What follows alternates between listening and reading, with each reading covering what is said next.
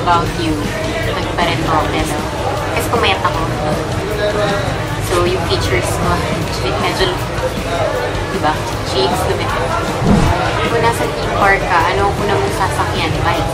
Pinaka-memorable na sugat mo sa paglalaro. Sa pagluluto na lang. Parang sa school. Yung PLD. Nag-open ako ng red uh, ah, tomato cans. Ko yung tomato sauce na yun. Yun pala. so, dinala na ako sa hospital. Nilalanggam din kaya ang langgam pag namatay. Siguro hindi. What was the last movie you watched that made you cry? Um, um, iyak ba ako sa Dumber?